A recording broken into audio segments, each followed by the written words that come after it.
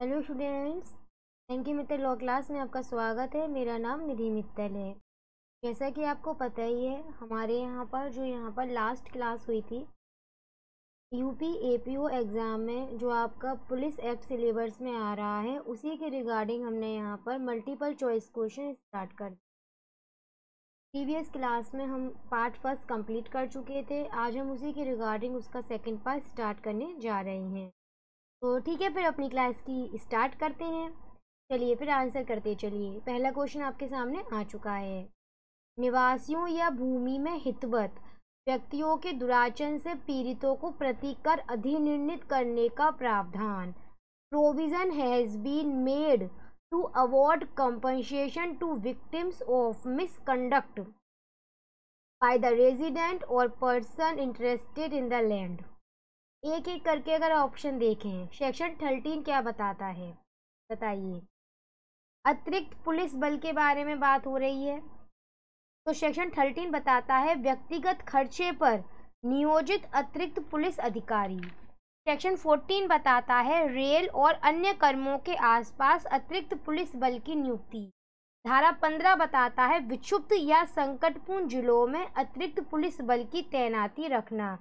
और धारा पंद्रह ए बताता है, निवासियों या भूमि में हितवत व्यक्तियों के दुराचरण से पीड़ितों को प्रतिकर अधिनिर्णित करना। तो इस संबंध में धारा पंद्रह ए जो है, वो इसको यहाँ पर डील करता है। क्वेश्चन जब क्षेत्र के निवासियों द्वारा किसी व्यक्ति को गंभीर चोट या मृत्यु होती है तो वह व्यक्ति किससे मुआवजे का हकदार होगा? यहाँ पर हम बात क्या कर रहे हैं इस संबंध में?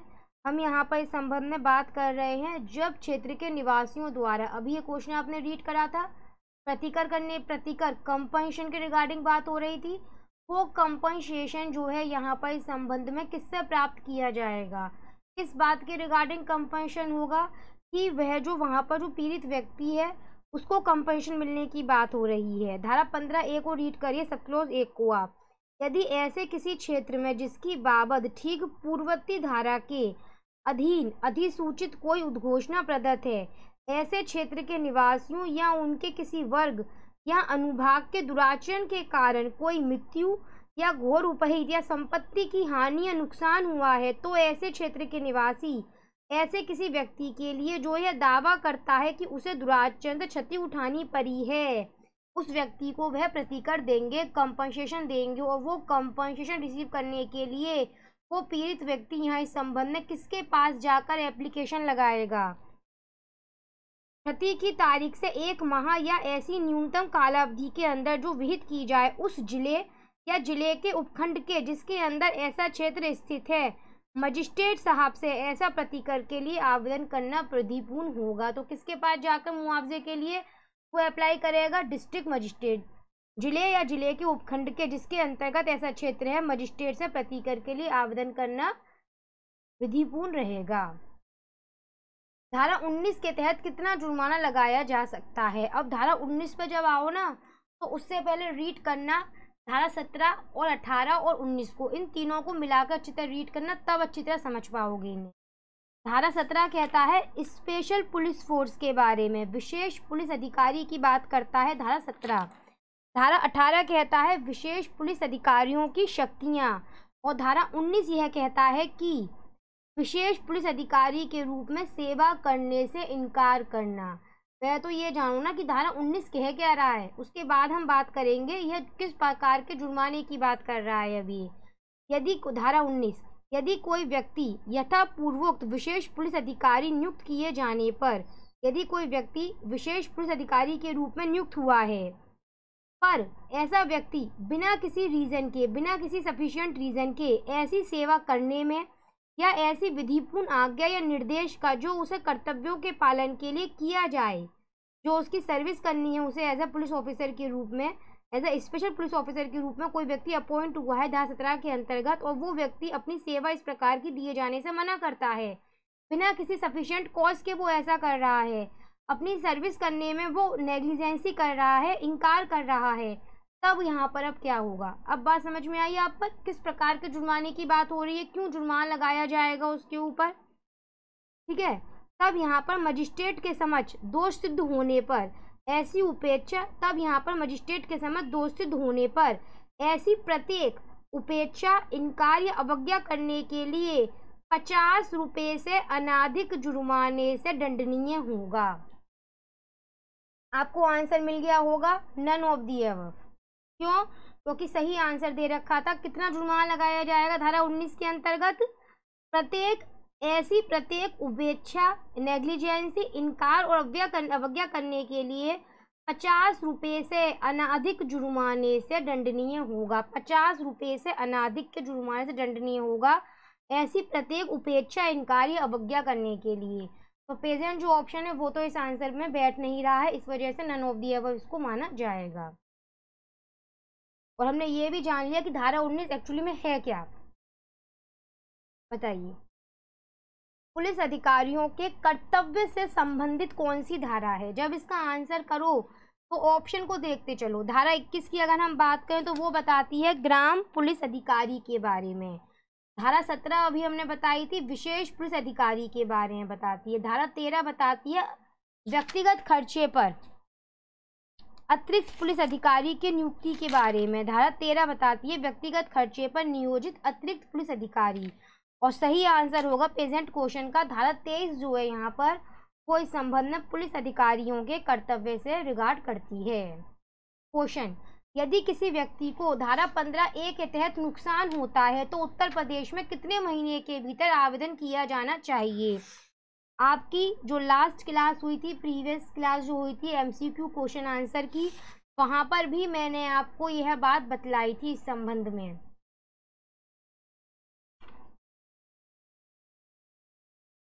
वहाँ पर भी मैंने आपको इस संबंध में यह बताया था कि धारा पंद्रह ए के तहत अगर आप बात कर रहे हैं और आप कंपनसेशन के लिए पीड़ित व्यक्ति मांग कर रहा है, किसके पास वो एप्लीकेशन लगाएगा कंपनसेशन के लिए संबंध में?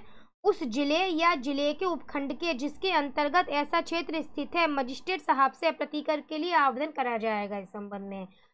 और कितने समय के भीतर क्षति की तारीख से, जिस दिन इंजुरी हुई है, तब से एक महीना या ऐसी न्यूनतम काल अवधि के अंदर। लेकिन मैंने आपको इसमें एक बात कही थी कि आप पंद्रह ए को कंप्लीट रीड करिएगा तो आपको पता चलेगा कि यूपी अमेंडमेंट के तहत अगर हम बात करें तो पुलिस अधिनियम अठारह की धारा पंद्रह ए की उपधारा एक में जो शब्द उपयोग करा गया है, एक महीना, उसके स्थान पर शब्द तीन मास रख दिया जाएगा। और डायरेक्टली उसने क्वेश्चन में पूछा है आपसे यदि किसी व्यक्ति को धारा पंद्रह ए के तहत नुकसान होता है तो यूपी में कितने महीने के भीतर आवेदन किया जाएगा? तीन महीने के भीतर आवेदन किया जाएगा। क्वेश्चन, यदि किसी पुलिस अधिकारी को विशेष पुलिस अधिकारी के रूप में नियुक्त करा गया है और वो सेवा देने से मना करता है तो पुलिस एक्ट के कौन सी धारा में इससे रिलेटेड प्रावधान है? आपको अब तक तो सही आंसर पता है, धारा 19 के अंतर्गत है। धारा 17 बताती है विशेष पुलिस अधिकारी के बारे में। धारा 18 विशेष पुलिस अधिकारी की शक्तियाँ बताती है। धारा 19 बताती है कि जो व्यक्ति विशेष पुलिस अधिकारी के रूप में नियुक्त हुआ है, यदि वो मना कर दे अपनी सेवा वगैरह देने से। विशेष पुलिस अधिकारी के रूप में सेवा करने से इनकार। तो धारा 19 जो है, वो यहाँ इस संबंध में डील करती है। विशेष पुलिस अधिकारी के रूप में नियुक्ति कौन सी धारा में जाएगी? तो बहुत सिंपल है, धारा सत्रह के अंतर्गत जाएगी।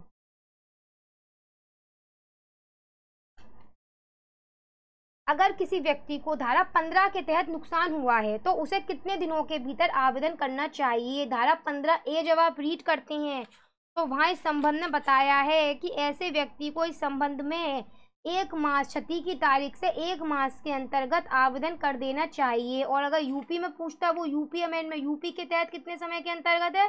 तो तीन महीने का होता। जनरल स्पीकिंग कितना है? एक महीने के भीतर आवेदन कर देना चाहिए। क्वेश्चन। पुलिस अधिनियम अठारह की कौन सी धारा में प्रावधान है कि पुलिस अधिकारी हमेशा ऑन ड्यूटी रहेंगे? एक एक करके ऑप्शन देखिए। धारा सत्रह, विशेष पुलिस अधिकारी को बताती है। धारा 19 बताती है, जो विशेष पुलिस अधिकारी के रूप में नियुक्त हुआ है, व्यक्ति वो अपनी सेवा देने से इनकार कर रहा है। धारा 21 ग्राम पुलिस अधिकारी के बारे में बताती है और धारा 22 बताती है इस संबंध में कि पुलिस अधिकारी सदैव कर्तव्य ऋण रहेंगे। प्रत्येक पुलिस अधिकारी इस अधिनियम में अंतविष्ट सब प्रयोजनों के लिए सदैव ऑन ड्यूटी माना जाएगा और किसी भी समय साधारण पुलिस ज़िले के किसी भी भाग में पुलिस अधिकारी के रूप में नियोजित किया जा सकेगा। धारा 22 इसको बताती है। पुलिस अधिनियम।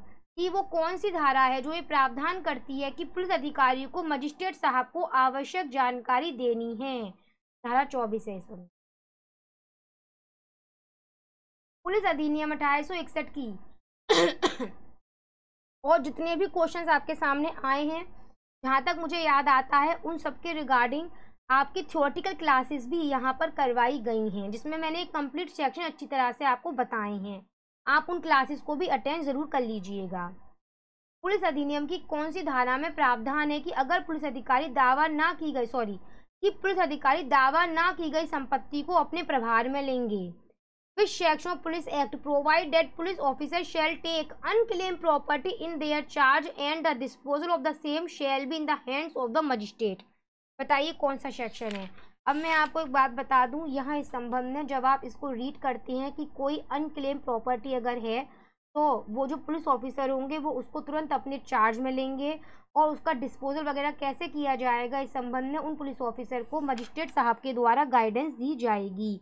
यहाँ पर जब भी आप यहाँ पर इस तरह के प्रोविज़न को रीड करें कि जो अनक्लेम प्रॉपर्टी है, ठीक है, उसको उनके द्वारा, पुलिस अधिकारी द्वारा अपने चार्ज में लिया जाएगा। तो यहाँ आप इस संबंध में धारा 25, धारा 26 और धारा 27 आप इन तीनों को एक साथ रीड करिएगा। तब आप इस तरह के प्रोविज़न्स को अनक्लेम प्रॉपर्टी के रिगार्डिंग इस तरह के प्रोविज़न को तब आप अच्छी तरह से समझ पाएँगे। उसको चार्ज करने संबंध में उसका डिस्पोजल वगैरह किस तरह से किया जाएगा। धारा 25 यहाँ पे क्या कहती है? पुलिस अधिकारी बिना दावे वाली संपत्ति को अपने भार साधन में लेंगे और इसके व्ययन की बाबत मजिस्ट्रेट के आदेशों के अधीन होगी। धारा 26 कहती है, मजिस्ट्रेट संपत्ति को निरुद्ध कर सकेंगे और उद्घोषणा निकाल सकेंगे। धारा 27 कहती है, यदि कोई दावेदार उपस्थित नहीं होता है तो संपत्ति का अधिहरण। ठीक है तो प्रेजेंट क्वेश्चन में सही आंसर होगा धारा 25 यदि किसी व्यक्ति को धारा पंद्रह ए के तहत नुकसान हुआ है तो उसे किससे आवेदन करना चाहिए? ज़िले के दंडाधिकारी से। तो चलिए फिर इसी के साथ मैं अपनी आज की क्लास यहाँ पर कंप्लीट करती हूँ। और आपसे हर बार की तरह रिक्वेस्ट करती हूँ कि आप मुझे कमेंट बॉक्स में बताइए कि आपको क्लासेस कैसी लग रही हैं और ज़्यादा से ज़्यादा इस क्लास को आप लाइक एंड शेयर करिए। तो चलिए फिर इसी के साथ मैं अपनी क्लास यहाँ पर आज कंप्लीट करती